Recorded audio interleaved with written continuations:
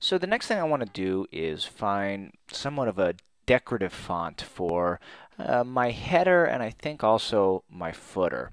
Um, I'm going to spare any kind of decorative font for my actual main content because you know don't don't let your dis- design decisions kind of distract uh, the main goal of your site, and that's to relay a message to your user.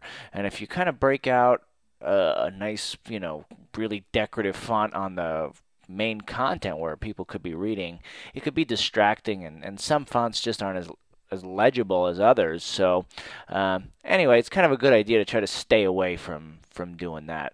So I am going to be styling both my header up top and my footer down here with something you know something that breaks breaks beyond the uh, constraints of web safe fonts.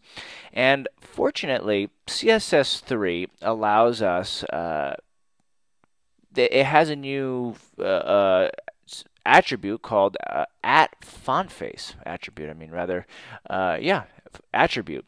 And at font face basically allows you to import a set of fonts and then you just actually call those fonts in in your CSS just by actually whatever the name of the font is like you see here. Then they they look good on the web. So um, let's do just that.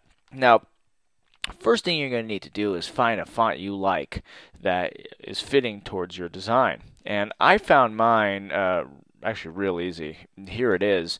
Basically, what I did is I Googled free fonts Space Invaders. And fortunately for me, the first hit was exactly um, what I was looking for. You could probably do free fonts, let's see, arcade classic, like that.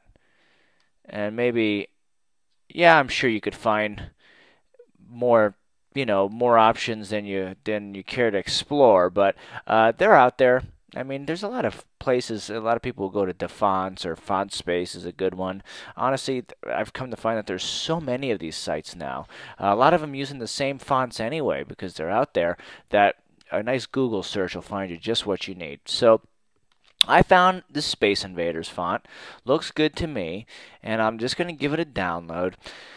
It's important to keep in mind um, when you're uh, doing this kind of stuff, especially for professional use, uh, that you check the uh, copyright of the uh, of the font because uh, I get to use these because it's for personal use, so it doesn't really matter. And it's educational use, which gives you a lot of leeway with uh, with stuff. But if you're if you're going to be doing this for a professional project and a client is paying you to do it, don't mess around. Don't do something stupid like try to get a free font um, that's not really eligible for uh, for commercial use, and then you you know hook up your uh, client with some uh, illegal font, and who knows down the road they could uh, end up getting in trouble for it, and that's not going to look too good for you.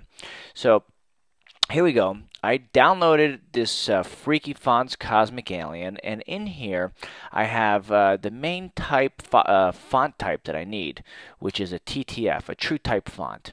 Um, the reason I say this is the main style, uh, the main type that you want is if you look at a lot of these uh, online engines that are going to actually end up creating fonts in a bunch of different formats for us, um, they require a TTF, a true type font. And what I'm talking about here is uh, if you look at what it takes to actually implement at font face, uh, you need a couple of different types of fonts because different browsers aren't going to um, use certain types. Uh, kind of similar to how HTML5 video is right now, with uh, different browsers only supporting different formats.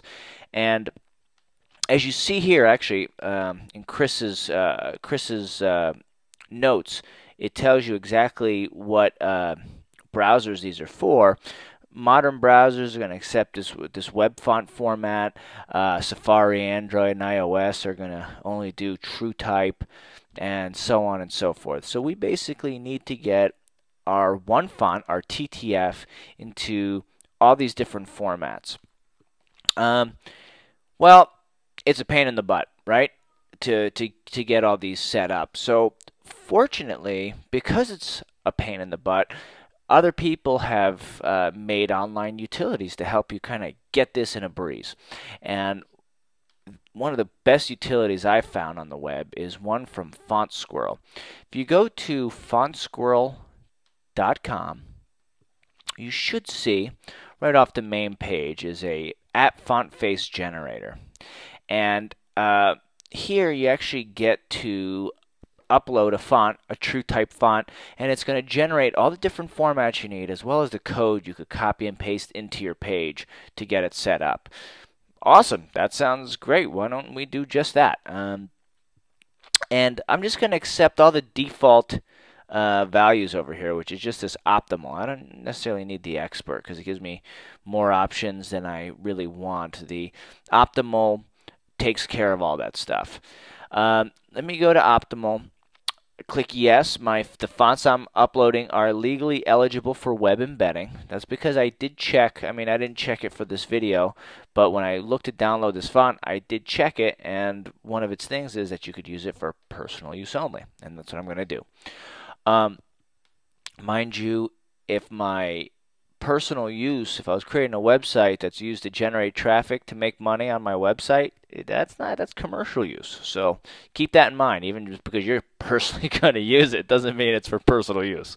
Um, anyhow, once you have the font you want and you go to At Font Face, you can go Add Font and then just navigate to the font set that you created, uh, that you downloaded, and go and the TTF file. Click Open and then go ahead. There we go. It did it. Awesome. I probably did it before you even uh, saw it happen. So now I'm just going to download my kit. And uh, the next order of business is going to be to actually take the code that it gives me and the fonts and set them up for embedding.